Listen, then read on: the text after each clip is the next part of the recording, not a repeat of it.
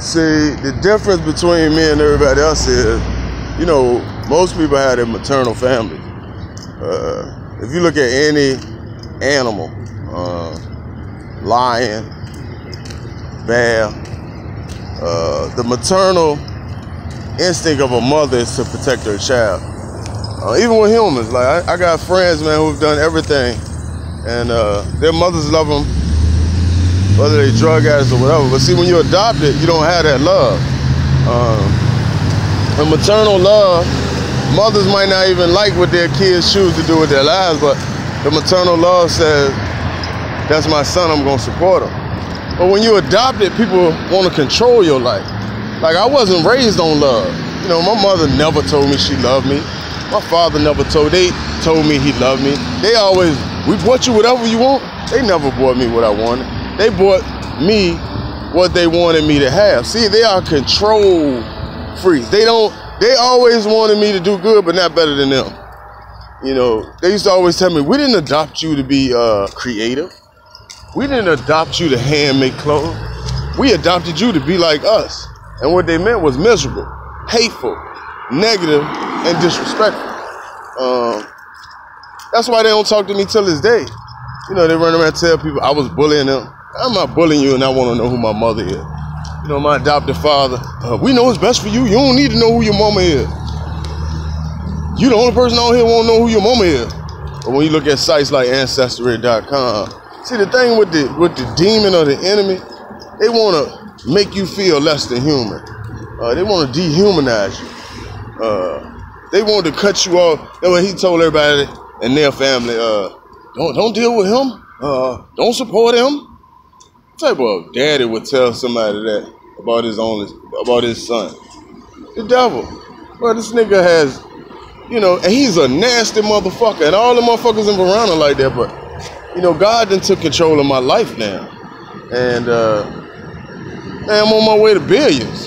And I'm gonna continue to tell my story, man, because it's a story of triumph over tragedy. You know, they had no sympathy and no empathy for me being adopted or know, wanting to know who my family was, which is my God-given right. They tried to play God. You know, we ain't gonna support you if you don't, if you don't uh, get a job and be miserable about like us. God got bigger things for me, man. Way bigger. You know, the worst thing that could have happened to me was being adopted by them. I don't give a fuck what they say. Uh,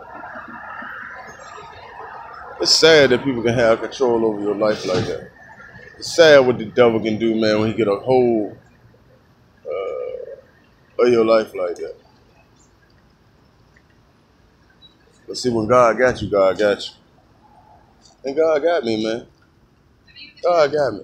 You know, all my life, even though, I mean, you know, if you look at him, he probably one of the nastiest demonic motherfuckers on earth. And, and God gonna get him.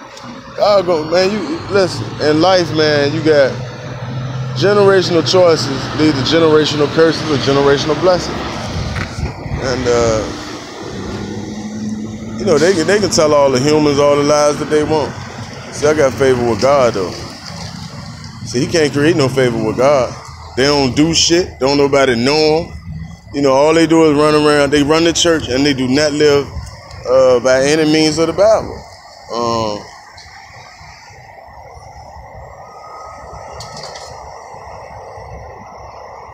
you know, uh, you know, my adopted mother, she goes to church every day. She don't display love. She don't. She don't. She don't talk about none of the principles in the Bible. The Bible talks about gifts. Gifts. The Bible says your gifts will carry you through. It don't say your adopted parents will carry you through. It say your gifts will carry you through. But they don't stand on that. They stand on their demonic principle.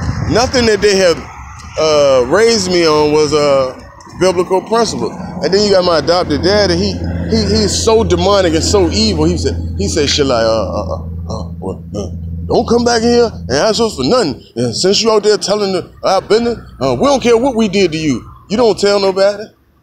What do you mean? So you, you yeah, you just keep it quiet to yourself. He they they slave masters, bro. They slave man. God gonna show you who gonna win, bro. They, you can't win being nasty and negative. See, see one thing about them, they so nasty and disrespectful and negative. They think they gonna win, And that ain't of God, so they ain't gonna win. That's why ain't none of them motherfuckers winning. And they ain't gonna never win. Cause they ain't got God. They built all on evil. Just cause I don't wanna be like him, be miserable like that nigga, have a nasty ass wife like that nigga, and have a fucked up life like him.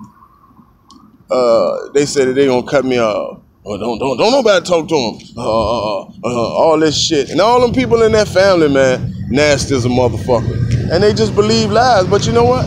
God gonna reveal Himself. God gonna reveal Himself, man.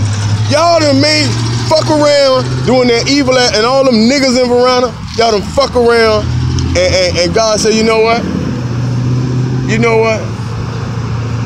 This dude feed people all over the world. This dude got Nigerians saying his name. This dude got Chinese people saying his name. This dude got Indians saying his name. This dude really feed people. I, I gave him them gifts. Y'all ain't give him them gifts. I gave him to y'all. Y'all didn't make him. Y'all adopted him. I allowed y'all to adopt him. And y'all gonna do that to my child? Okay. Just like, and, and then to my adopted mama, Betsy.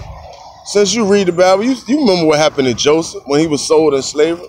It made him the king of uh, uh, of uh, of Egypt. You remember that? But see, you're you're such you so evil.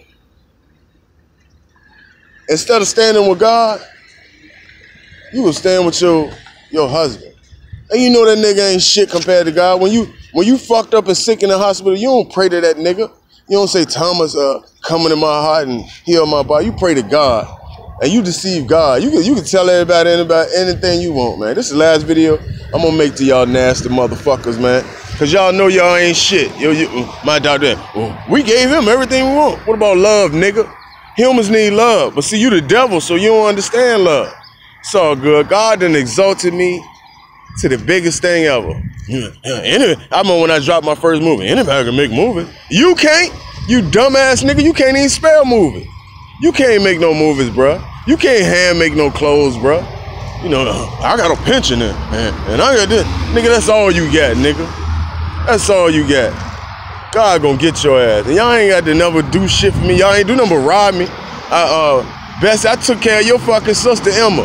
All them, all them uh, relatives you got, ain't none of them motherfuckers do shit for Emma. Then Emma get sick, you move in your house and rob her. How can you sleep at night? You how can you go to church every day knowing you phony as shit? How can you sleep at night knowing you phony as a motherfucker? I can't I even understand how God let motherfuckers like y'all live, but that's cool. He God is exalting me to the biggest name ever. It ain't nobody in your family that can say they done what I done. As far as movies, clothing, YouTube, uh, or feeding people. And nigga, if I'm such a loser, why the fuck you can't do why you can't do nothing but sit in the house and shit on yourself all day? Huh? Sorry, motherfucker. God gonna get y'all though. You done curse your, yourself and your generations to come. By being the motherfucking devil, nigga.